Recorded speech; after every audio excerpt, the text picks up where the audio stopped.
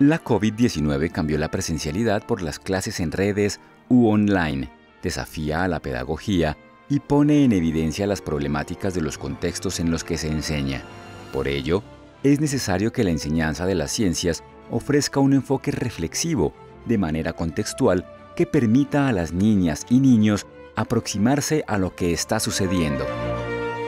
Historias con futuro en tiempos de pandemia. Sábado 7 de noviembre, 6 y 30 de la tarde.